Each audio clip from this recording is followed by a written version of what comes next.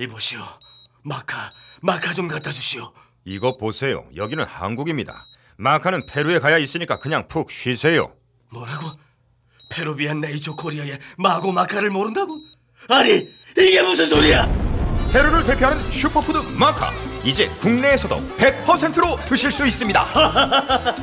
딴지마켓에서 파는 마고 마카 남녀노소 모두에게 줬어.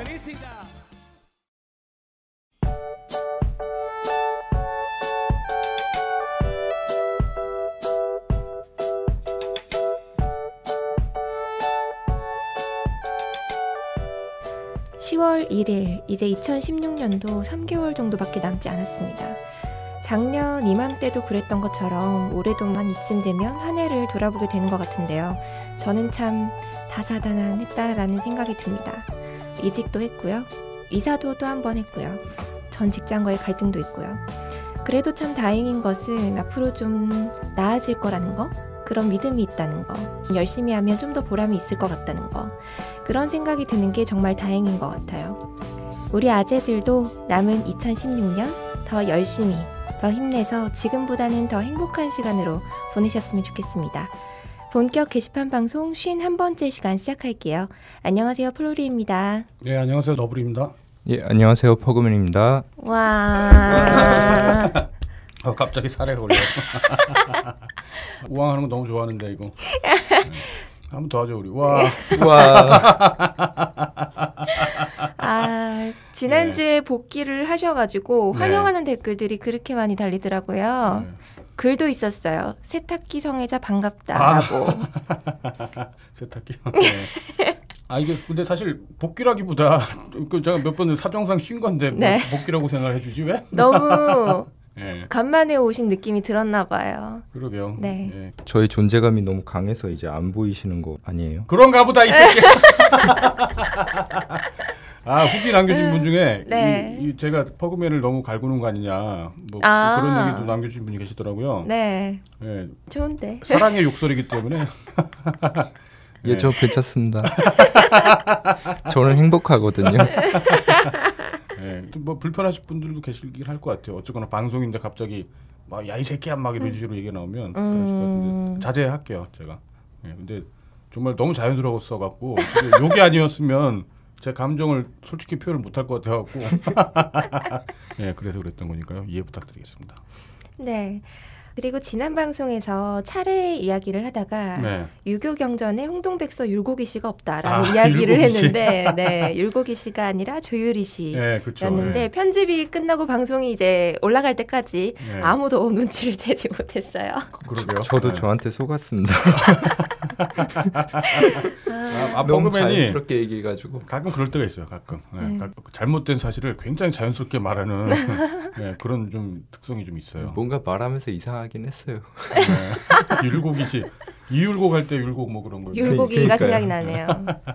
예, 조율이 시죠 조율. 네. 아 그리고 지난주 게스트셨던 아, 네 금도리님 네. 목소리가 원래 저랬나 네. 방송용 목소리다 목소리가 끈적인다라는 얘기들을 많이 하셨어요. 어, 저도 그렇더라고요. 그 들어보니까. 아, 그런가요? 네, 금도리님 목소리가 막 갑자기 다른 사람 목소리처럼 이렇게 들리더라고요. 하긴 저도 그 편집본을 들을 때 네. 좀 어, 약간 먹먹하다는 느낌도 있고 금도리용 목소리는 특히 좀 네. 다른 사람 같다는 느낌이 들었거든요. 그러게요. 아마 편집 프로그램의 특성이 아닐까 싶기도 음, 하고. 네. 네, 얼굴. 자체가 워낙 귀엽게 생기신 분이 네. 그런 목소리가 되게 안 어울리는. 네. 맞아요. 네, 그런 느낌이 좀 들었어요. 마- 음. 마치 뭐 작업할 때 나올 만한 그런 목소리였어 갖고. 네. 네. 네. 댓글들 보면 내가 후로 불편러인데 나를 제쳐두고 금도리용이 불편러라니 기분 나쁘다. 음, 어. 뇌전 고망님이셨네요. 네, 음, 프로 불편러에 대한 자부심이 네. 굉장히 강하신 것 같아요. 네. 그리고 또 어떤 분은 포드 코리아는 금도리님에게 상품권을 지급해라. 음. 포드차 하나도 몰랐는데 몬데오는 뇌에 박혔다. 라는 그러게요. 댓글이 있습니다. 예, 아, 뭐 일부러 그런 건 아니지만 분명히 홍보가 되게 됐을 것 같아요. 그러게요. 저도 몰랐는데 네. 네. 금도리님께서 올리신 글 때문에 아 이런 차가 있구나라는 것도 알았거든요. 그렇죠. 그리고 금도리님이 차량 준 전문가급인 것 같아요. 뭐 네, 네. 여러 가지 차량들 막 튜닝도 네, 해보시고. 튜닝도 해보고 뭐 아무튼 여러 가지 차 특성도 잘 알고 그래갖고 네. 아무튼 뭐 잘 선택을 하신 것 같다니까 여러분들도 참고하시면 될 것 같아요. 네. 어 그리고 어제는 또 병원에 다녀오셨다면서요? 예, 이거- 아 이건 뭐 굉장히 사적인 얘기인데 네. 예.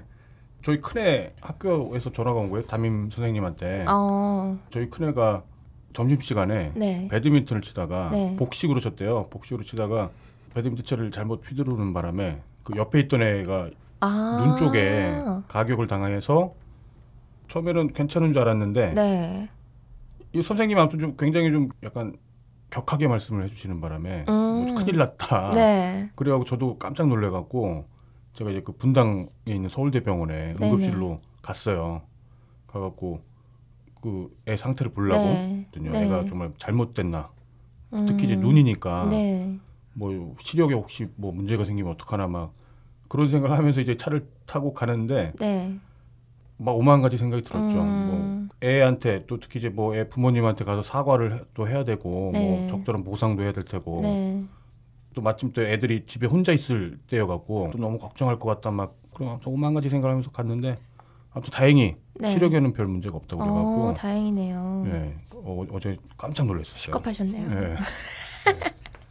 결혼해서 아이를 키우다 보니까 예전에 드라마나 영화 같은 걸 봤을 때는 그 부모가 자기 잘못도 아닌데 음. 가서 아이 대신에 음. 사과를 하고 네. 뭔가 잘못을 수습하고 네. 이제 그런 과정을 제가 이제 처음으로 겪어본 거예요. 그 과정 자체를. 음. 예, 저도 굉장히 긴장되더라고요. 네. 예. 그래도 뭐 싸우다가 막 그렇게 된 게 아니라서 다행이네요. 예, 싸운 건 아니고 네. 놀다가 그렇게 돼갖고 근데 그쪽 부모님들도 어, 굉장히 친절하셔갖고 어. 아이들이 이렇게 운동하다 다친 건데 뭐 네. 이렇게까지 오셨냐 고마워하신 것도 있고 막 상호간에 미안해하고 뭐 그런 것도 어, 있어갖고 좋은 분들이네요. 혹시 딴게는 예. 아닌가요?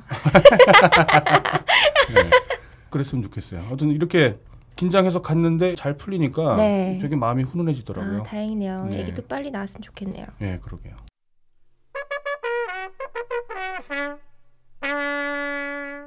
네, 본격 게시판 공지 오늘도 신규 클럽은 없습니다. 몇 네. 주째 좀 조용하네요. 신청글은 좀 올라오는 것 같긴 한데 아직까지 그러게요. 뭐 추천 수가 쌓이고 그런 게 아니라서 네. 신규 클럽이 생성이 되고 있지는 않습니다. 이게 마음이 좀 무거워요 이런 것도. 왜요? 그러니까 저희 딴지 내에서 네. 여러 가지 그동안 많은 또 불미스러운 일들이 좀 있었다 보니까 네. 이용자분들이 혹시 그런 여파로 클럽 활동에 뭔가 회의를 느끼신다거나 뭐 그런 건 아닐까 싶은 또 음. 약간의 걱정도 좀 들고 그래요. 뭐 그런 분들도 있으시고 아닌 분들도 있으시겠죠. 예. 음. 걱정한다고 사실 될 일은 아니겠죠. 네. 분명히 있었던 사실이고 그런 과정에서 뭐 제대로 수습을 못했던 면도 분명히 있고 근데 어쨌거나 그렇기 때문에 다시 뭐 이용을 잘 열심히 해달라 그런 얘기는 아니고 네. 음, 여전히 좀 마음이 좀 무겁다. 음. 예, 죄송한 마음이 있다. 뭐그 그 말씀 드리려고 하는 거고요. 앞으로 한 10회 차는 얘기가 계속 나올 것 같네요. 그러게요. 잊을만 하면 제가 다시 꺼내도록 하겠습니다. 방금 얘기하시려 하다가 말았죠. 네, 야, 이 참았어요. 네, 참았어요. 아이 잘 참았다. 네, 아, 네. 우리 퍼그맨 사랑스러운 퍼그맨. 네. 근데 왜 퍼그맨이에요? 아, 강아지 예, 퍼그인가요? 개 중에 퍼그가 있어요. 그러게 개처럼 생겼어요. 딱 얼굴이 딱 정말 개같이 생겼어요. 네, 퍼그맨. 아, 시원하세요? 아, 미치겠다. 이번 주에는 반드시 또 그런 댓글이 올라오겠네요. 아, 아니, 개같이 생겨서 개 같다고 하는 거예요. 여러분. 저는 괜찮습니다. 저는 행복한 사람이기 때문에 괜찮습니다. 네. 네. 어쨌든 네. 네. 신규 클럽은 없고요. 또 다른 공지 있을까요? 아 이거는 저희 회사 내부 공지 사항이라고 볼 수 있는데요. 저희 네. 직원 중에 한 명이 장시간 한 3년 넘게 4년 가까이. 예, 4년 가까이 이제 열심히 일을 하다가 퇴사라기보다는 어, 유학이라고 봐야겠죠. 유학? 음. 어, 일본으로 넘어가는 바람에 네. 이제 저희가 이번 주에 송별회도 좀 하고 어. 그랬어요. 꿈을 기자라고. 아, 아, 꿈을- 출연을 하셨었죠. 그렇죠. 예. 본격 게시판 방송 진행자였기도 했고 네. 그 꿈을 팀장 뭐 저희 내부에서는 이제 그 딴지일보 팀장으로 이렇게 불렸었는데 네. 그 친구가 어 9월 달까지 일을 하고 이제 일본으로 건너가서 뭐 일은 계속 도와주긴 할 거예요. 네. 예, 어쨌거나 이제 일본으로 건너가게 됐기 때문에 퇴사는 하게 됐고 저희 딴지보 맛박 관련 뭐 디자인 관련 그런 음. 업무들은 계속 도와줄 예정이고요. 예, 업무를 계속 도와주실 예정이긴 한데 그래도 네. 이제 편집부 인원이 새로 필요하긴 한 상황이에요. 그렇죠. 예. 결혼이 근데- 생겼으니까. 예, 음. 부편집장님이 공지를 못 올리고 계세요. 네. 예. 못 올리고 있죠. 예, 예전에는 막 그런 장난을 쳤었죠. 뭐 노예 구함. 예. 그랬죠. 예. 그런데 지금은 그런 식으로 올리면 사람들이 장난으로만 받아들이지는 않을 거기 팩트 때문에 폭력.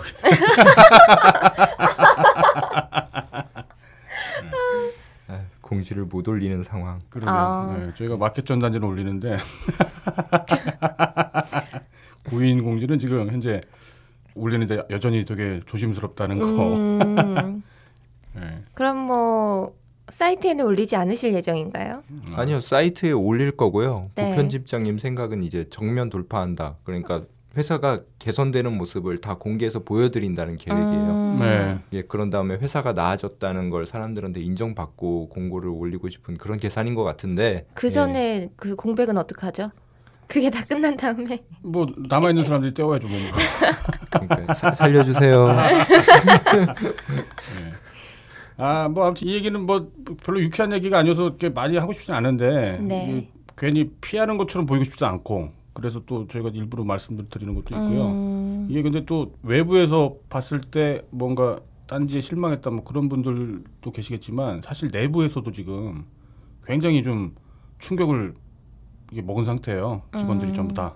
왜냐하면 이제 단지 그 부분만 문제가 있었던 건 아니었기 때문에 여러 가지로 내부에서도 지금 어, 동요가 있었고 음. 뭐 스스로 자책 뭐 그런 것도 있었고 예, 뭐 그랬다는 거만 좀 말씀드리고 싶네요. 네. 우울하다.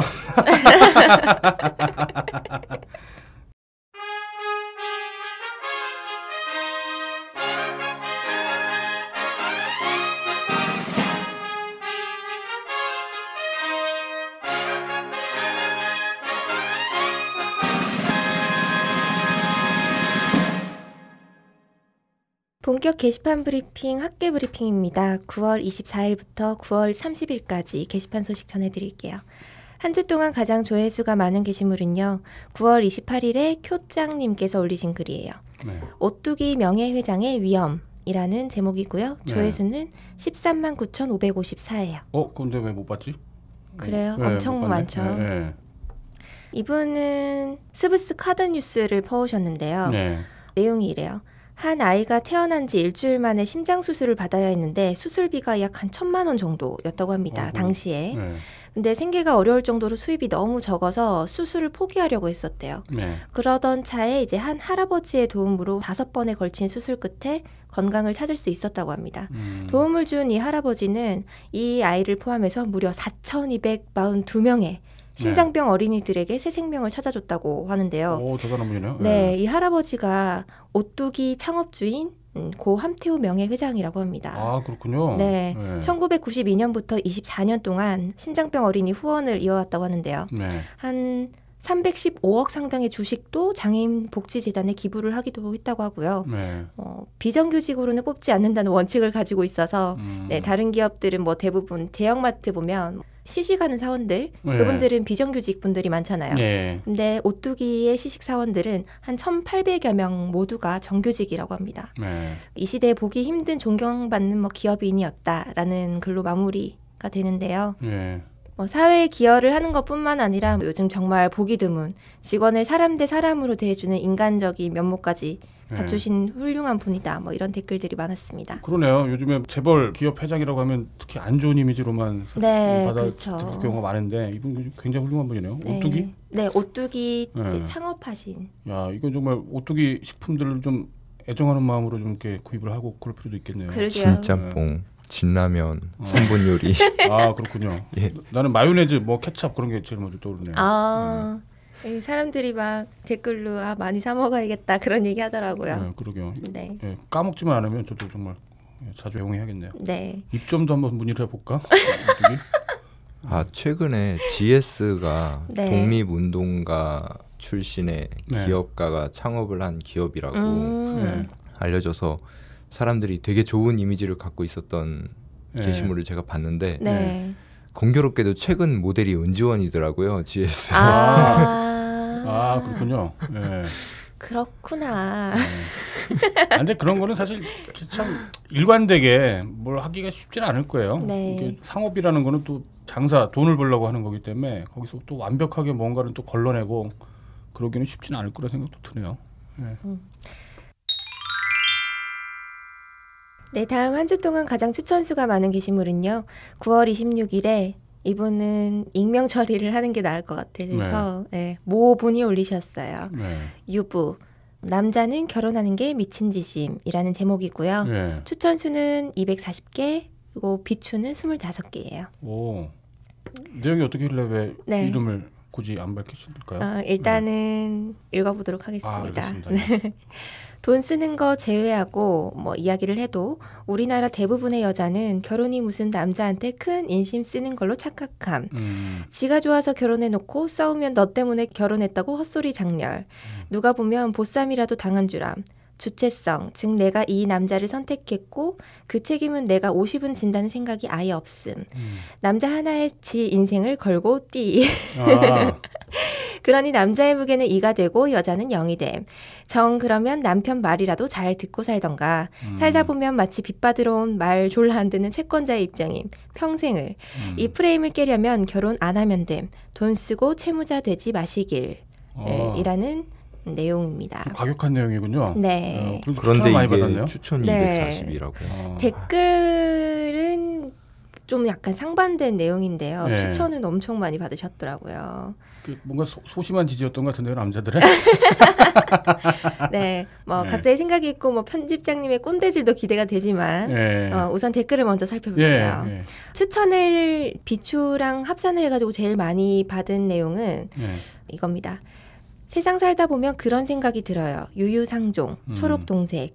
님이 뭐 그렇게 생각을 한다면 상대방에게 님도 그런 사람이에요. 음, 그리고 참 연인이나 부부는 그렇더라고요. 그냥 거울이에요. 음, 이혼하는 부부들 일방적인 유책이 얼마나 되리라 생각하세요? 네. 제가 본 케이스에선 한 5% 정도 되려나? 한 3% 정도 되려나? 네. 그래요. 표준은 한 2,000쌍 정도라고 봤을 때요. 네. 쌍방과 실이고 서로 부족하고 서로 못나서 괴로운 만남이 되는 거예요. 네. 남녀의 문제도 사회의 문제도 아니고요. 그냥 서로 못난 거지. 뭐 그렇게 여자가 어떻고 저떻다 하는지 쯧쯧. 음. 네. 하는데 그쵸? 예, 네. 요게 추천이 17개고요. 네. 가장 적절해 보이네요. 네. 여기가. 다음은 어, 추천을 19개 받았는데 네. 비추도 20개 받은 게 아, 있습니다. 그럼, 네. 그건 님이 결혼을 잘못한 거고요. 일반화 시킬 수는 없어요. 라는 네. 글이 이렇게 받았고요. 네. 음, 다른 글은 공감합니다. 힘내세요라는 글도 많았지만 뭐 사람 됨됨이 보고 결혼을 하면 이런 글에 추천 누를 일이 없습니다. 네. 라는 댓글. 결혼이 남자에게만 무덤은 아니죠. 라는 음. 것도 있고요. 불행한 사람들이 결혼에 대해 많이 떠들죠. 어, 네. 아, 얼른 퇴근해서 마누리랑 놀고 싶네요. 라는 댓글도 있었습니다. 음, 그러게요. 아, 이게 정말 뭐 다른 건 모르겠고 그 성급한 일반화의 오류라는 말 우리 많이 쓰잖아요. 네. 그 많이 쓰면고 많이 알면서도 이게 늘 이렇게 발생하는 것 같아요. 그러니까 그죠. 결혼을 했을 때 어떤 안 좋은 여자, 안 좋은 남자는 분명히 있을 거예요. 이 수많은 사람들 중에 마치 네. 인류한테 발생하는 뭐 온갖 끔찍한 범죄들 그런 거 있잖아요. 네. 그런 끔찍한 범죄가 발생한다고 해서 모든 인류가 그러는 건 아니잖아요. 맞아요. 예, 그런 것처럼 사람들 중에는 보면 생각 없는 여자도 있고 생각 없는 남자도 있고 그러니까 그건 네. 사람에 따라 다른 거지 결혼 자체의 어떤 일반적인 결과라고 볼 수는 없거든요. 음, 근데 그걸 마치 뭐 그래서 여자들은 이렇다, 남자들은 이렇다라고 말을 한다는 것 자체가 좀, 예, 좀 교양이 없는 음. 얘기라고 해야- 될까?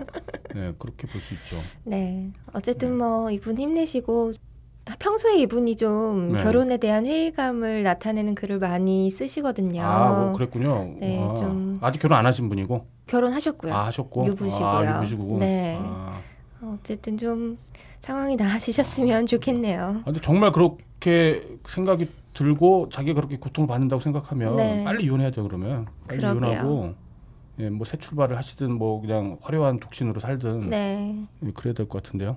본인이 행복해야 사는 것도 행복하죠. 버그맨은 어때요? 버그맨도 요즘 결혼을 고민하고 있잖아요. 근데 저는 잘 살 것 같은데요. 예. 예. 그런데 진짜 이분 네 와이프는 못 살 것 같은데. 아니 제가 맞아요. 아, 두들겨 맞는다고요? 예, 아. 제가 맞으면서 살고 있습니다. 아, 그러면 안 되죠. 네. 아니, 근데 저는 맷집이 있기 때문에 아, 맞아도 행복하신가요? 그쵸 맞아도 행복하죠. 예. 투닥투닥 하는 거, 예. 재수 없는 거.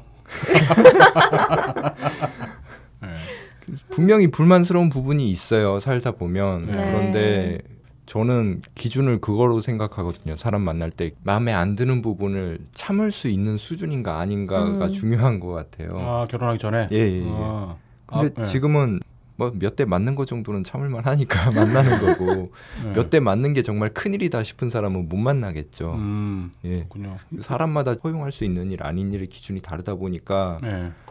이런 일이 생기는 것 같은데 대체로 저는 언제나 그게 불만이었어요. 어떤 거요? 왜 어른들이 이런 건 안 가르쳐 줄까? 음, 음, 자기도 모르니까 그렇지. 자기들도 몰라요.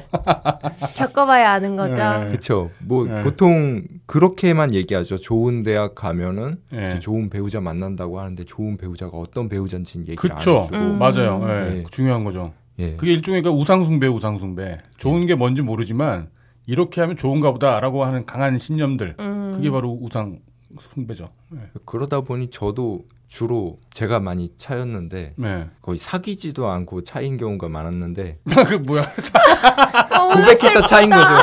고백했다 차였는데 아 고백했다. 네. 아, 예. 되게 그런 걸 많이 겪어가면서 어렵게 어렵게 만났어요. 아. 예.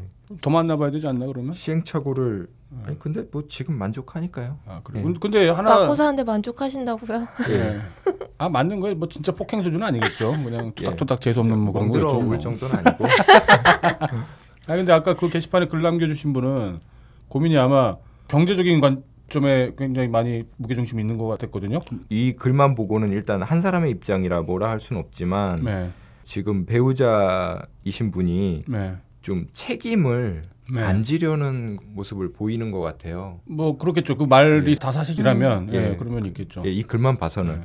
그런데 이것도 사실 남자의 책임도 있거든요. 처음에 예를 들어서 네. 뭐 문제가 생겼을 때 예. 아, 넌 나서지 마. 이런 식으로 해버리면 음. 여자들이 점점 책임 안 지는 방향으로 가거든요. 음. 아, 그 우리 사회 자체가 좀 이런 게 있다 보니까 어 여자는 나서지 마 이런 게 있다 보니까 예, 좀 이런 경향이 생기는 것도 무시 못할 부분이고요. 예, 그리고 처음부터 좀 책임을 분담하고 음. 그랬으면은 이렇게 어느 한쪽에만 책임이 몰리는 그런 불균형 이런 거는 안 생기지 않을까 싶어요. 예. 음. 그러니까 이거는 본인에게도 책임이 있다는 댓글의 일침이 맞는 걸로 보이거든요. 저는. 예. 아니 그러니까 뭐 나서지 말라라고 이분이 원래부터 했었는지 안 했었는지 또 모르기 때문에 예, 그걸 전제로 삼을 수 없고. 그 그냥 예고. 예. 뭐 그러니까 이게 저는 저 얘기를 하고 싶은 거예요. 책임이라기보다 이게 사람들이 늘 자기가 소중하잖아요. 자기가 중요한 사람이 되고 싶잖아요. 예. 그러니까 여성분들 중에 만약에 경제적인 능력이 뭔가 좀 부족하다, 경제적으로 자립하거나 뭐 맞벌이라거나 그러지 않는다고 할 경우에 나는 이걸 하지 않아도 되는 사람처럼 되고 싶어요. 경제적 관념 자체가 부재했다라기보다 자기 존재감이 더 중요하기 때문에 음. 내가 돈을 안 벌어도 이런 대접을 받는 사람이고 싶은 욕망들이 있겠죠. 아무튼 근데 이, 이 말을 이렇게 길게 하려고 했던 게 아닌데 한번 쓴 걸로 치고 네. 아, 아, 자신. 자체 카운트. 카운트 두 번. 예. 내 가족들이 먹을 건강한 빵을 찾으시나요? 화학 첨가물 없이 직접 만드는 배곡 찹쌀떡. 바삭함과 달콤함이 입안 가득 채워지는 리파이. 설탕은 줄이고 트레알로스를 넣은 달지 않은 옛날 팥빵. 시간이 지날수록 촉촉한 나가사키 카스테라까지. 제과제빵 명장의 정성으로 탄생한 포린브레드의 건강하고 맛있는 빵. 지금 딴지마켓에서 만나보세요.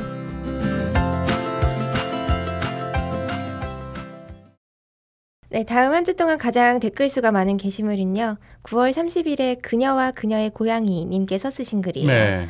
현직 독일어 강사입니다. 질문 없죠? 라는 제목이고요. 네. 음, 댓글은 275개예요. 음. 질문 없죠? 하면 왠지 질문을 쓰고 싶은 게 또 사람 심리잖아요. 아, 그래서 여러 가지 댓글들이 또 많이 달렸고 네. 뻘 질문들 네, 뭐 뻘. 질문들, 네. 뭐 뻘 댓글들 많았습니다. 네. 어, 내용은 Gut danke. Danke가 음. 뭐 어, 좋다는 뜻이겠죠. 고맙다 뭐. 네. 음.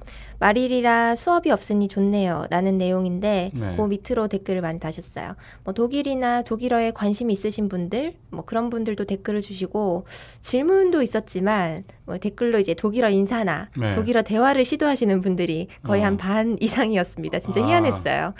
어, 어쨌든 뭐 그 중에 질문 답변 몇 개를 제가 뽑아봤는데요. 네. 궁금해 하실 만한 거, 그런 것들 좀 가져와 봤습니다. 네. 독어는 독학이 불가능한가요? 라고 질문을 주셨는데요. 네. 답변이 어, 적어도 국내 환경에서는 사실상 불가능하다고 본게 맞을 듯 합니다. 라고 네. 아, 답변을? 주셨어요. 음, 보니까 뭐 거의 학원을 추천을 하시더라고요. 음. 어, 뭐든 열심히 혼자 하면 다 되지 않나? 아닌가? 음. 안 되나? 발음 같은 게 좀 어려운가 봐요. 아, 혼자 발음이? 하기에는. 아, 그렇죠. 독일어 네. 발음이 뭔가 좀 예. 발음도 낯- 어렵고 낯설죠. 네. 영어만큼 교재가 풍부하지도 않죠. 음, 아, 그러겠네요, 또. 예. 음. 어, 다음은 차두리 독일어 잘하나요?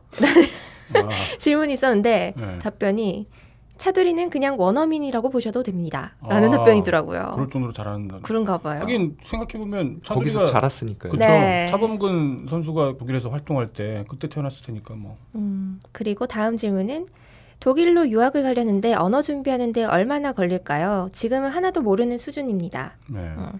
답변이 석박사 과정이 아니라면 결론적으로 최고급 단계 독일어 인증 시험을 패스를 해야 입학 자격이 주어진다고 해요. 네. 국내에서 그 단계까지 가는 데는 현실적으로 너무 시간이 오래 걸리기도 하고 그래서 뭐 보통은 한국에서 초 중급 단계를 어느 정도 익힌 후에 현지에서 생활하면서 어학원을 병행해서 마무리 어학 시험을 준비를 하게 된다고 합니다. 네. 그렇게 보자면 국내에서 미니멈 6개월, 현지에서 미니멈 뭐한 6에서 8개월 정도 잡으시면 얼추 시험 준비를 마치게 된다고 해요. 물론 여기에도 개인차가 존재합니다라고 네. 적어 주셨습니다. 여러 가지 독일에 관한 정보나 뭐 어학에 관한 정보 이런 것들을 답변을 잘 정리해서 주셨더라고요. 음, 음. 그렇군요. 이것도 굉장히 유용한 정보 되겠네요. 네, 네. 예, 저도 고등학교 때 제2외 국어가 독일어였는데요. 어, 거의 기억에 남는 게 없습니다. 안 그래도 막 아, 어렸을 때 독일어 공부 좀 했는데 지금은 기억이 안 난다 뭐 그런 말씀들 많이 하시더라고요. 그쵸? 어학은 꾸준히 해야 남는다고 그쵸? 하십니다. 고등학교 때는 정말 또 시험 때문에 공부한 거지. 독일 사람들과 뭐 얘기를 하고 싶다 그런 마음으로 공부를 한게 네. 아니었거든요. 그럼 당연히 까먹죠. 그런. 네.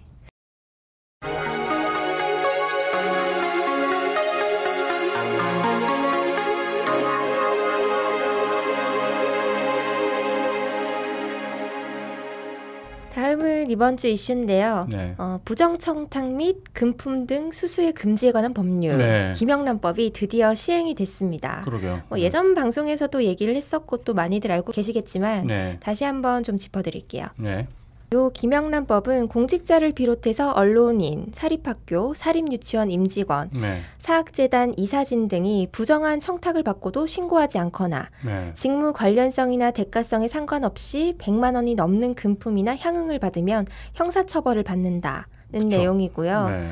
요거는 공직자뿐만 아니라 부정 청탁을 한 사람도 과태료가 부과가 되고 네. 공직자는 배우자가 금품을 받은 사실을 알면 또 즉시 신고를 해야 되고 네. 요걸 어기면 형사처벌 또는 과태료를 받는다라는 대략적인. 네, 네. 내용입니다. 네. 요 법이 이제 그저께인 9월 28일부터 시행이 됐어요. 네. 뭐 시행 후에 이제 딴개들이 직접 겪은 이야기들이 많이 올라왔었습니다. 네. 몇 가지 글을 가져와 보자면 병원에 입원을 하셨는데 간호사들이 너무 고마워서 빵을 음. 사서 선물을 하려고 하셨대요. 네. 근데 여기가 대학병원이라서 네. 간호사들이 김영란법 대상인 거죠. 아. 네, 그래서 아무것도 우리는 받아선 안 된다라고 어. 거절을 당해서 굉장히 당황스럽다라는 어. 내용이 있었고요. 또 현직 기자인 딴게이가 남긴 글이 있었습니다. 네. 현직 기자입니다. 덜덜덜 김영란법 시행 만세라는 제목이고요. 네. 음. 내용은 왜냐하면 저희 파트는 접대만 했지 받아본 적이 없거든요. 음. 뭐 경제, 산업, 정치, 사회부 선배들이나 뭐 그것도 옛날 부장이나 차장급 정도 돼야 뭐 콩고물이 있을까. 네. 요새 후배들 보면 젊은 친구들이 깨어서 그런지 일절 그런 거 잘 안 받더라고요. 음. 아무튼 이제 너나 할 거 없이 받는 거 주는 거 없는 세상이 되길 기대합니다. 근데 교육을 받는 도중에도 망할 선배라는 그 작자들이 어떻게 해야 골프랑 해외 취재 지원을 안 걸리고 받을 수 있을까 아, 하고 법무팀 변호사한테 계속 묻는 거 보니 네. 저 인간들 나가기 전까지는 변하지 않을 것 같네요. 라고 네. 또 쓰셨고요. 한 방에 변하지 않겠죠. 좀 시간이 걸리겠죠. 근데 어쨌거나 좋은 취지죠. 정말 훌륭한 취지죠. 맞아요. 또 하나는 한쪽만 남을 뻔하셨던 청풍님께서 아, 올리신 청풍님. 글이에요. 네. 네. 외불알. 네. 어린이집 공지사항에 애들한테 먹을 거 들려서 보내지 말라고 애들끼리 나눠 먹는 것도 걸려서 조심해야 한다고 그렇게 글이 올라왔었대요. 아, 공립이 아니라 산업단지에서 회사들끼리 만든 직장 어린이집인데 이것도 해당이 되나요? 라고 글을 올리셨어요. 음. 아 애들끼리요? 네. 법을 보면 사립유치원 임직원도 해당이 되잖아요. 네. 네, 이제 그 글 아래에 딴개이들이 친절하게 또 댓글을 달아주셨는데 네. 친구들끼리 이렇게 서로 나눠 먹는 건 문제가 안 되지만 그걸 어린이집이나 유치원을 통해서 나누어 주면 문제가 되는 거라고 해요. 아, 그- 그럴 수 있을 거예요. 네, 네. 애를 키우면 알 텐데 돌아가면서 네. 그반 애들끼리 먹을 간식 같은 거를 음. 이제 학부모가 책임지는 경우가 있어요. 네, 네, 네. 그러니까 그게 그 학부모 입장에서는 뭐 아주 그냥 순수한 의미로 받아들일 수도 있지만 네. 그게 부담이 될 수도 있거든요. 그쵸. 네, 그런 경우가 발생할 수가 있어요. 요런 거를 만약에 유치원을 통해서 주고 싶다 하시면 정식 기부를 통해서 주는 건 가능하다고 네. 아, 하니까 정식 기부로. 네, 음. 네. 그 절차를 밟으시면 될 것 같습니다. 네. 네, 다음은 지난해 11월 열린 민중 총궐기 대회에서 경찰의 물대포를 맞고 쓰러져서 의식 불명 상태로 네. 병상에 있었던 농민 백남기 씨가 지난 25일 돌아가셨다는 소식입니다. 그러게요. 네. 사망 진단서에 있는 사망 종류가 외부 요인에 의한 사망이 아닌 뭐 질병에 의한 사망으로 분류가 되어 있어서 조작 의혹 논란이 일고 있는데요. 네. 최초 작성된 의료 기록에는 백 씨의 오른쪽 두개골이 부러지면서 뇌혈관이 터졌고 출혈이 발생했다라고 기록이 되어 있는데 네. 대한의사협회가 만든 의무 기록 작성 지침에 따르면 두개골 골절 같은 큰 상처가 있는 경우에는 병사 판정을 내려선 안 된다고 나와 있대요. 네. 네, 그럼에도 불구하고 백남기 씨의 사인이 병사로 내려져서 논란이 일고 있습니다. 미친 것 같아요 정말. 아, 어처구니 없어갖고 네. 아 이게 백남기 농민 관련해 갖고는 제가 예전에 게시판 방송 말미에 이렇게 뭐 말씀드린 적이 있긴 했었는데 저희도 한번 그 찾아가 뵌 적이 있었거든요. 음, 그 누워 네. 계실 때 선생님 직접 뵈지는 당연히 못했고 그 따님을 뵌 적이 있었어요. 아, 네네. 백, 백도라지님이었나? 네. 아무튼 그 만나갖고 위로도 위로지만 저희 이제 업체하고 같이 이렇게 좀 후원을 드린 적이 있었어요. 음, 그때 대략 500만 원 정도를 저희가 네. 이제 후원을 해드리고 왔었는데 안타깝더라고요. 이게 무슨 뭐 병원비를 지원을 받는 상태도 아니었고 음. 국가에서 책임을 전혀 안 졌으니까 그때 네. 그것도 환장할 일이었는데 지금 돌아가시고 나서 또 병사였다. 그야말로 완전 범죄를 하려고 하는 것 같아요. 국가가 그쵸. 국민을 대상으로 완전 범죄를 하겠다는 생각으로 부검 얘기도 지금 나오고 그러니까요. 있고요. 진짜 기가 막힌 일인 것 같아요. 네. 영장이 통과됐다고 하더라고요. 그렇죠. 음. 한 번은 거부당했는데 예. 결국에는 또 통과가 됐죠. 기각 사유가 다시 신청하지 말란 소리였대요. 네. 그런데도 불구하고 다시 신청해서 되는 초유의 일이 음. 일어났어요. 네. 예. 참 네, 어쨌든 이게 뭐, 심각한 일인 것 네. 같아요. 네. 정말 심각한 일인 것. 이런 것 때문에 네. 장례식장 앞이 지금 부검을 반대하는 유가족들과 시민들 항의하는 시민들의 네. 조문 밤샘 집회가 네. 계속되고 있고요. 딴게도 요 소식이 전해지면서 서울대 병원을 찾는 분들이 많이 계신 것 같더라고요. 그러게요. 후원도 많이 해주시고 그런 것 같더라고요. 네, 네. 29일에 이제 모 회원이 백남기 어르신 장례식장에 도움이 필요하다라면서 SNS 글을 하나 퍼오셨어요. 네. 내용이 매일 아침 7시, 저녁 7시에 집회를 갖고 있지만 학생들이 돈이 없어서 식료품이 부족하니 십시일반으로 후원을 좀 부탁드린다라는 글이었는데 네. 요걸 보고 또 아재들이 가만히 있지 않죠. 네. 언제나 행동하는 분들이라서 서울대병원 장례식장 1층 밥차에 딴도스 폭격이 이어졌습니다. 네. 음. 딴도스요? 네. 쿠팡이 네. 밤 12시를 기점으로 그 전에 주문을 하면 다음 날에 배송이 되고 약간 그런 게 있나 봐요. 네. 그래서 그 배송이 빠르다는 얘기가 있어서 또 주문을 쿠팡에서 많이 하셔가지고 또 보낸 것 같더라고요. 네. 많은 분들이 이제 물품 후원 또 하시고 네. 딴게 인증을 올리셨는데 백남기 씨의 따님이 SNS에 글을 또 올리셨어요. 네. 장례식장에 백남기 지킴이들을 위한 발신인이 없는 물품들이 계속 쏟아져 들어와서 택배차 8대가 줄지어 서 있다라는 음. 뭐 글과 사진이 네. 올라왔었습니다. 예, 어. 아유, 훈훈하네요. 네, 훈훈하죠. 네. 물품들은 많이들 보내주셔서 후원금으로 계속 후원을 해주시면 감사하겠다. 그런 얘기들이 또 나오고 있더라고요. 어제는 네. 뭐 후원들이 계속 계속 지금까지도 이어지고 있어서 이걸 보니까 또 참 인터넷의 힘이 이렇게 크구나라는 게 좀 느껴지더라고요. 그러게요. 정말 훌륭하신 분들이에요. 네. 저희만 노력하면 될 것 같아요. 자학은 네. 계속됩니다. 네, 아 근데 이거는 정말 심각한 문제인 것 같아요. 이 백남기 선생님 거는 장례식을 잘 치르도록 해야 되는 게 아니라 이게 지금 국가의 이 범죄 행위를 어, 모든 사람들이 이렇게 공감할 수 있게끔 해야 될 것 같은데 네. 아, 근데 정말 참 안타까워요. 이게 잘못됐다라는 걸 모르는 사람은 없을 거거든요. 그렇죠. 근데 이게 워낙 잘못된 일들이 만연해 있다 보니까 이것도 그냥 무감각해지지 않을까 그런 좀 그걸 노리는 생겨요. 것 같기도 하고요. 네, 음, 지금 그랬죠. 이명박 정권 때부터 네. 계속 이런 불미스러운 일들, 합리적이지 않은 일들이 계속 발생하니까 사람들이 이제 정신을 못 차리겠는 거예요. 맞아요. 아. 그 불합리한 일들이 일상이 네. 되어버리니까 그러게요. 그러니까 더 이제 자기 살 길만 중요해지게 되는 거죠. 네. 점점 세상은 원래 이렇게 돼버린 거고 내 코가 석자다. 음. 이제 그렇게 무기력해지는 거죠. 안타깝게도 모르는 사람들도 있어요. 그게 잘못된 일이란 걸. 얼마 전에 그러게요. 네. 뉴델리에 성신여대 학생이 글을 써가지고 그랬죠. 예. 네. 음. 그 일도 있었죠. 뭐 시체팔이를 한다라는 예. 그런 용어까지를 음. 써가면서 예, 뭐 성신여대 정외과 학생회에서는 그에 대해서 사과를 한다 그런 글을 올리긴 했었는데 네.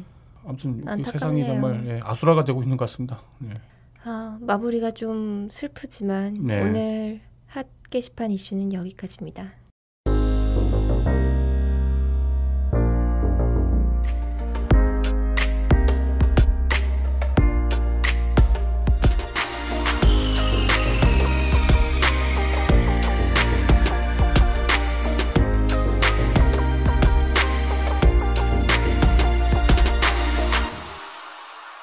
네 쿨게 브리핑입니다.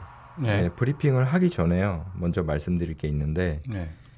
그 제가 공지도 썼었거든요. 네. 예, 나이나이 마켓 요정님이랑 아, 딜을 해가지고 네. 아, 예, 이제 최다 조회수, 최다 댓글 수, 최다 추천 수 선정되신 분들도 선물을 보내드릴 수 있게 됐어요. 네. 음. 그 선물은 뭐가 나가나요?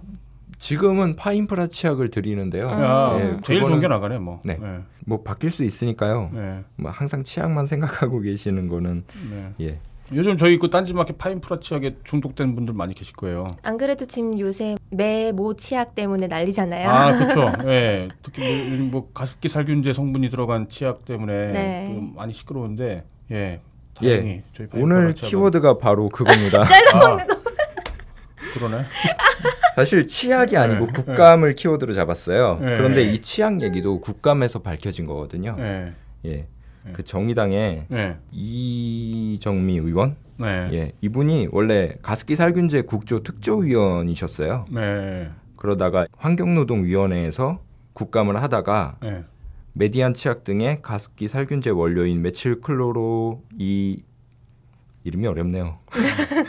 메칠 클로로이소치아 졸리논 네. 예, 이게 들어갔다는 거를 발견해서 지금 계속 폭로 중에 있습니다. 뭐 음. 치약 말고 다른 것도 많이 들어갔더라고요. 음. 이거는 현재 진행형일 것 같고 앞으로 이 성분이 들어간 제품에 대해서는 계속 공개가 될 것 같아요. 네.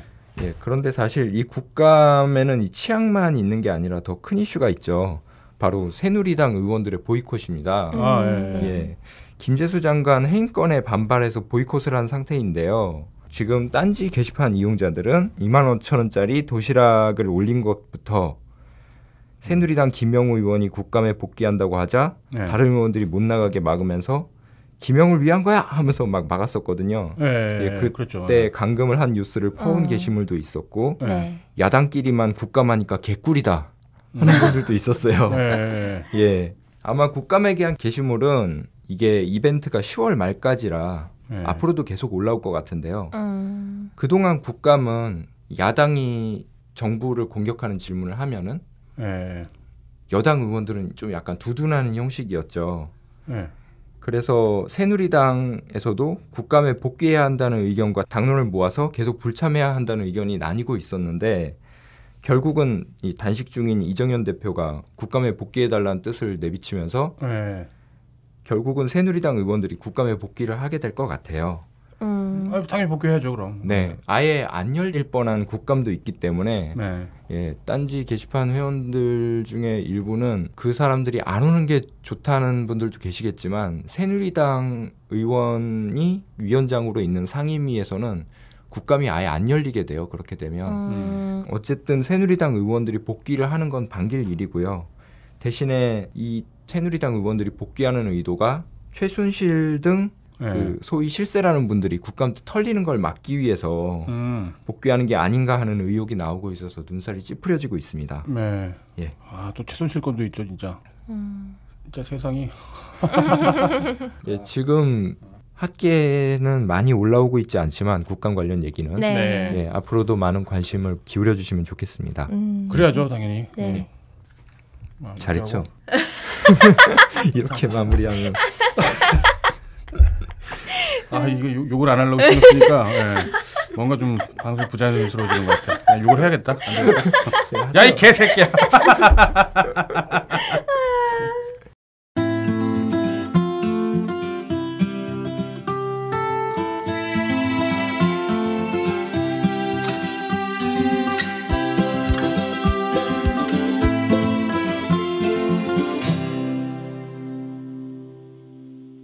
네, 본격 게시판 토크 시간입니다. 네. 어, 제가 먼저 소개를 할게요. 네. 9월 26일에 아트 인생님께서 쓰신 글이에요. 아트 인생님이요. 네. 정우성 때문에 헤어진 친구 커플설입니다. 아, 종종 이것도 네. 떡밥이에요. 정우성 떡밥이 좀 돌 때가 있거든요. 네. 이번에도 이제 정우성 떡밥이 돌 때쯤 그때 올라온 글인데 재밌어서 네, 네. 호구형이라고. 불리고 있죠. 네. 그렇죠. 네. 호구형이라고 불리게 된 계기가 아마 그 사기 사건 당한 유튜브부터 그런 건가요? 어 그것도 그렇고요. 네. 그 이지아 사건. 아, 네. 사귀고 있는데 이혼 내역이 알려주면서 아, 아, 그랬구나. 아, 그러면서 호구형이라고 그렇게 했던 네. 거구나. 아, 난 또 그때 40억인 가 얼마인가 뭐 아. 사기 받았다고 그것도 엎친 데 덮친 격이라. 그렇군요. 진짜 네. 호구네요. 네. 물심양면으로 호구네. 내용을 소개해드리겠습니다. 네.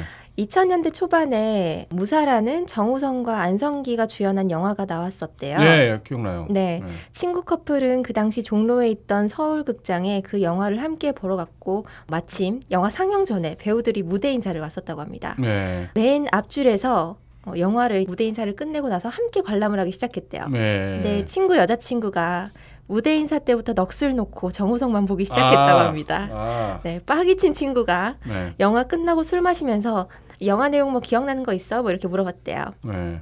그러니까 여친이 정우성 얼굴 외에는 기억나는 게 없다라고 어, 하면서 실제로 그랬으니까. 네 솔직하신 분이죠. 네. 네. 정우성 얘기만 술 마시는 내내 하고 네. 뭐 그러니까 친구분이 화가 나셨나 봐요. 네. 그래서 막 비아냥거리고 그 네. 여자친구분이랑 친구분이랑 싸우셨다고 합니다. 음. 결국 그날로 2년 사귄 커플이 남남이 됐대요. 아, 네. 현실적으로 있을 법한 일이네요.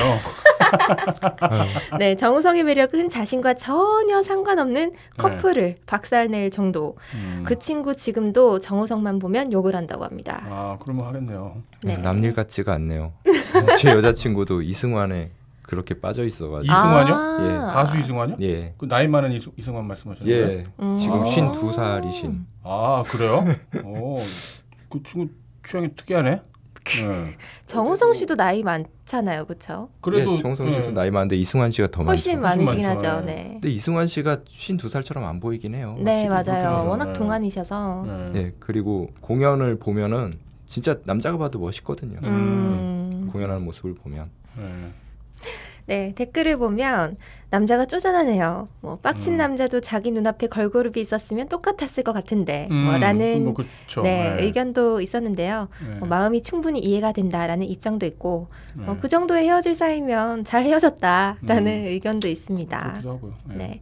자기 일화를 또 적어주신 분이 계세요. 네. 당시엔 여친이고 지금은 마눌님이 되신 분의 이야기인데 음. 어, 무사를 보는데 정우성이 나올 때마다 마눌님 표정이 마치 고퀄 한정판 피규어를 바라보는 아. 덕후의 그것 네. 그 눈빛이 되어 있더군요. 뭐. 초롱초롱해지는 막 그런. 네. 하지만 저는 화가 나지 않았어요. 상대는 그냥 사람이 아니잖아요. 음. 정우성이잖아요. 인간으로서는 대적할 수가 없었어요. 네. 그래서 화가 나지 않았어요. 음, 네, 되게 그러게요. 슬프네요. 음. 뭐 포기가 빠르면 좀 편하니까. 네. 빠른 포기. 예. 어, 또 다른 댓글은 예. 가까운 사이에 예의를 더 지켜야죠. 상대방과 얼굴을 마주하고 있다면 상대에게 집중해야지. 음. 다른 얘기로 상대방을 불쾌하게 한다는 건 정말 있어서는 안 될 일입니다. 네. 그건 그렇고 무사 안 봤는데 봐야겠네요. 대체 얼마나 잘생겼길래? 음. 라고 적어주신 분도 계셨습니다. 정우성 씨 정말 잘생긴 것 같아요. 네. 그렇죠. 잘생긴 데다가 이렇게 별로 실증나지 않는 얼굴. 음, 또 짤들을 보면 본인이 잘생겼다는 걸 계속 얘기를 하시니까. 네. 근데 또 사실이니까. 아 게다가 유머 감각도 있는 것 같아요. 맞아요. 네. 네. 잘생긴 사람 중에 그 유머 감각이 있는 사람이 되게 드물거든요. 네. 근데 그 정우성 씨는 정말 충분히 유머 감각이 있는 것 같더라고요. 네. 잘생긴 게 짜릿하신 정우성님. 음. 네. 나랑 동갑인데 씨발. 아 정말요? 그렇죠. 예. 그렇구나. 음. 다음 글 소개해 주시죠. 아, 네. 다음에는 예, 제가 준비한 건데요. 네. 아, 저도 되게 그냥 짧은 글이었어요. 9월 27일 날 올라갔던 글이고 조회수가 7,305. 어, 이렇게 많이 있는 조회수가 있었던 건 아니고 제목이 저거였어요. 이정현이 빡 돌아서 진짜 단식해서 죽으면 어떡하죠? 음. 예. 그 아이디 닉네임이 어려워갖고 제가 소개를 못 시켜드리겠네. 인크리즈라고 읽어야 되나? 아무튼 예, 그분이 네. 남겨주신 거고 굉장히 걱정하시는 말투로 이정현이 빡 돌아서 진짜 단식해서 죽으면 어떡하죠? 하고서 음. 그 클릭해서 들어갔더니 불쌍해서 어떡하죠? 이제 그런 의미였어요. 아. 예. 이정현이 빡 돌아서 진짜 단식해서 죽으면 어떡하죠? 불쌍해서 흑흑흑 그렇게 글을 남겼는데 이 내용은 사실 아무것도 아니었어요. 네. 근데 첫 댓글에 네. 아주 그냥 그 심플하게 부검해야죠. 예. 불쌍해서 어떡하죠?라고 물어보니까 부검해야죠.라고 음. 딱 댓글이 달려갖고 사인이 뭐라고 달릴까요? 뭐 식중독 뭐 예. 그래갖고 아무튼 이 본 글은 추천 수가 하나였는데 헬리오시스님이 남겨준 부검해야죠라고 하는 그 댓글에는 네. 무려 추천이 38개가 어. 예. 그래갖고 엄청나네요. 예, 글 자체가 되게 재밌었어 갖고 네. 예, 저도 걱정이 되더라고요 갑자기 이걸 보니까 불쌍해서요. 예, 예 그렇죠 불쌍해서 어떻게 해요 정말 정말 본의 아니게 지금 단식을 하고 있는데 네. 생각도 못했던 단식일 거 아니에요 이거 그쵸. 그 네. 게시판에서 그런 글도 봤었어요. 정윤의 문건에 나온 이정현. 아, 근데, 그렇죠. 예, 음.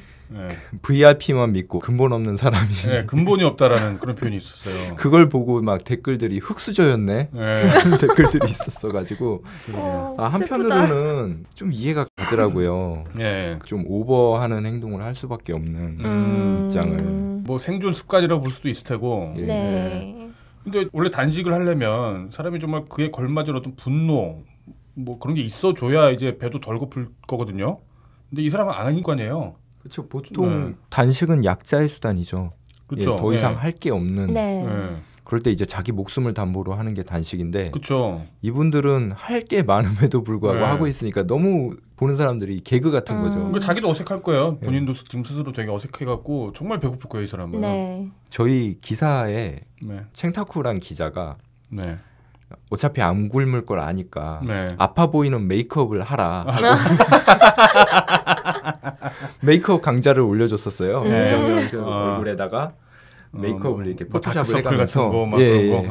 예, 이렇게 바르면 된다 막 네. 이런 걸 올렸었는데 네. 약간 좀 참고를 한 것 같더라고요. 아?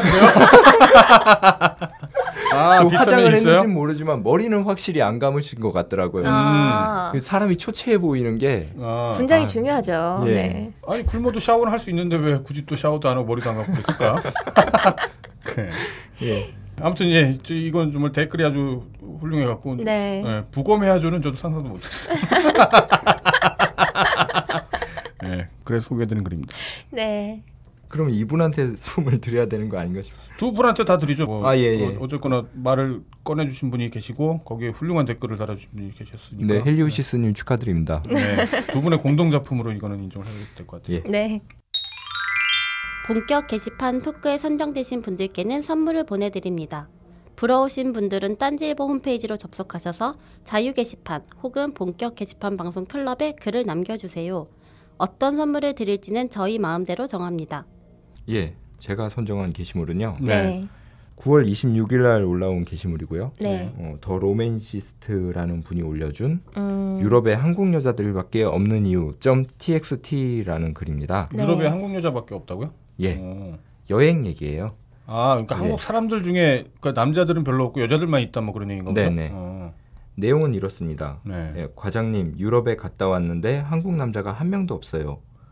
최근 열흘 정도 유럽 여행을 다녀온 한 회사 후배가 말했다. 음. 참 신기하다고 생각하던 김 편집. 네. 자기를 김 편집이라고 부르나 봐요. 네. 아, 예, 유럽에 가면 진짜 한국 남자는 한국 여자에 비해 1대 9, 2대 8 정도도 안 될걸요? 음. 음. 회사 휴직하거나 그만두고 오는 20대 후반, 30대 초반 언니들은 되게 많더라고요. 네. 대학 시절 배낭여행으로 유럽을 갔다 왔다는 전 회사 후배와 통화를 하다가 비슷한 이야기를 또 들었다. 뭐 대충 이런 내용이에요. 내용이 네. 길어서 다 읽긴 좀 그렇고요. 네. 그러니까 어쨌거나 아무튼 예. 남자들은 별로 없고 예. 한국 여자들만 유럽에 많이 있다. 예, 여행을 그리고- 많이 온다. 예. 예, 이게 학계를 가니까 예. 그 밑에다 실선을 하고 첨언을 해주셨는데 음. 20대 여자들은 여행 많이 다니는데 음, 30대도 여행 좋아하면 많이 다니고 네. 남자들처럼 결혼 때문에 돈을 악착같이 모으는 여자는 별로 못 본 것 같다는 취지에서 올린 글이래요. 아. 예, 기본적으로 우리나라 남녀는 결혼에 대한 책임 의식부터가 다르다. 아. 결혼하면 음. 와이프 처자식을 먹여 살려야 하는 책임감 때문에 남자들은 이제 젊었을 때 여행을 많이 못 하고 돈을 모으느라 아, 그 돈을 못 쓰고. 예, 여자들은 반대로 예. 그런 책임으로부터 비교적 가벼우니까 최후의 수단으로 취직을 할 수 있으니까 여행을 가는데 예. 남자들은 최후의 수단으로 그걸 못 하니까 이 네. 차이가 크다라는 얘기였어요. 예. 아, 그렇군요. 근데 사실 예, 예. 제가 이 글을 가져온 거는 예. 공감해서라기보다는 예. 그냥 제가 이거 갖다 말을 많이 하고 싶어서 음. 예, 제 방송 분량을 늘리기 위해서 가져왔는데요. 들어보죠. 너 부검해야겠다, 야. 예. 제가 예. 체감하기에는 뭐 사람마다 경험한 게 다르다 보니까 일반화할 수는 없겠지만 예. 여자들도 돈을 모아야 한다는 생각을 많이 하고 있거든요, 사실. 네. 예. 예. 일단 청년들이 주거비가 비싸고 고용 불안이 있다 보니까 음. 공무원이 인기 있는 것만 봐도 알 수 있죠. 되게 안정적인 수입을 중요시하고 네. 재테크에 요즘 의외로 젊은 사람들도 관심이 많고 음, 맞아요. 예 생존의 그런, 문제잖아요, 이제는. 예, 네. 그쵸. 예. 그런데도 여자들이 여행을 많이 하는 이유는 예. 제가 생각하기에 예. 에이 이 돈 다 써버리면 취집하지 뭐 이게 돼서가 아니라 네. 예. 첫째로 결혼에 대한 두려움이 남자들보다 커요. 음. 음. 예. 결혼 남자- 자체에 대해서 예, 예. 예. 남자들은 반대로 임신과 육아라는 아. 그런 거를 좀 덜 의식하고 있죠. 음. 그런데 네. 여자들은 결혼하면은 이제 애 낳고 애 돌보다 보면 자기가 하고 싶은 걸 못 할 거라는 좀 그런 그렇죠. 두려움이 인생 같아요. 끝난다 이제 뭐 그런 또 공포가 있죠 예, 여자분들도. 그렇기 예. 때문에 지금 아니면 언제 해보냐라는 마음이 좀 있는 걸 제가 봤었고 네. 그리고 두 번째로는 네. 여행 상품을 비롯한 이런 소비재들이 네. 여성을 겨냥하는 경우가 많아요. 음. 음. 그 일단 명동에만 가봐도 네. 유럽에 한국 여자들만 많은 게 아니라 명동에 있는 중국인들이나 일본인들을 봐도 여자들이 더 많죠. 아 그러네요. 예. 그러고 네. 보니까 그러네. 예. 그 각종 인터넷이나 블로그에 떠도는 마케팅성 콘텐츠가 대부분 어디가 예쁘다, 뭐 여기서 음. 사진 찍으면 대박이다 이런 거에 남자들 잘 혹하지 않잖아요. 네, 그렇죠. 음. 제가 마케팅 관련해서 그쪽에서 일하시는 분 얘기를 들어봐도 주로 네. 그렇게 여자들 지갑을 열라고 한다고 하더라고요. 음, 아 그럴 예. 것 같아요. 그러니까 물론 요즘엔 안 그런 남자들도 많이 늘어나는 것 같은데 남자들이 여행을 가는 건 뭔가 향락 그런 거를 추구하는 경우가 많다 보니까 음. 저뭐 어디가 네. 예쁘다 그래서 가진 않죠. 그렇죠. 예. 예. 어딜 경험 삼아 간다 뭐 그런 것도 남자들이 좀 약간 둔한 편이죠. 예. 예. 그리고 또 첨언을 드리자면 취집이 가능하고 남자들의 결혼 비용이 큰건 네. 남녀 간 소득 격차 등 여러 가지 이유도 있지만 네. 대체로 성비가 깨진 국가들의 공통점이라고 하더라고요. 아 그럴 수 있겠네요. 음. 예. 지금 83년생 이후부터 한 25년간 자연 성비에 비해 남자 성비가 너무 높다고 하더라고요. 우리나라가 남아선호 사상 때문에. 네. 네. 중국도 이런데 네. 저희 필진 중에 시파님이라고 있어요. 예. 시파. 예, 예, 아, 저희 자유 게시판에서도 게시판 활동 아, 예. 활동도 예. 많이. 하시는데 예. 최근에 엔화에 투자했다가 피 봤다는 기사도 올리셨고. 아, 예. 예. 근데 이분이 중국계 미국인이랑 결혼을 하셨거든요. 네. 신부 집에서 네. 원래 중국은 결혼을 하면 신랑 집에서 신부 집에 1억을 준다.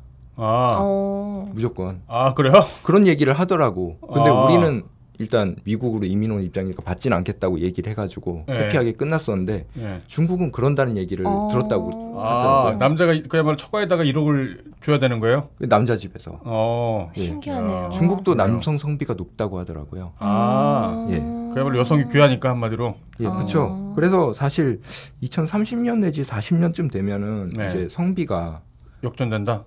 역전이라기보단 자연 성비로 돌아가니까 예. 좀 그런 부담이 덜어지는 현상이 일어나지 않을까 저는 음. 그렇게 긍정적으로 예상을 하고 있어요. 그런 예. 전망도 많이 있죠. 예. 예. 이제 그 남자들이 들어갔고. 예. 예, 남자들의 결혼 비용이 올라가는 거는 남아선호 사상의 문제라고 보시면 돼요. 그럴 수 있죠. 예. 예, 뭐 이게 정말 누가 하나가 지금 갑자기 만들어낸 게 아니라 네. 뭐 취집이니 뭐니 그런 것도 그 인류의 어떤 역사와 맥락을 같이 하거든요. 네. 이 그런 거기 때문에 누구 하나가 이걸 뭐 잘못 생각하고 있다 뭐 그런 게 아니라 아주 오랜 시간의 결과물인지도 몰라요. 그냥 습관처럼 관습처럼 돼버린 것들도 많이 있으니까 이게 누군가의 뭐 고의성으로 지금 이러는 건 아니잖아요. 이런 문화가 생긴 게. 예, 그런 걸좀 참고하면 좋을 것 같네요. 네. 네.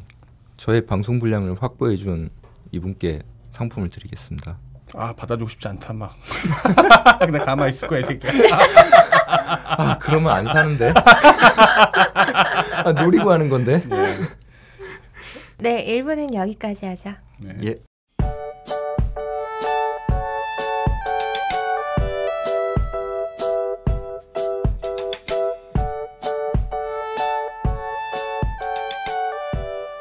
딴지 일보 홈페이지 게시판과 함께하는 본격 게시판 방송 2부에서 계속됩니다.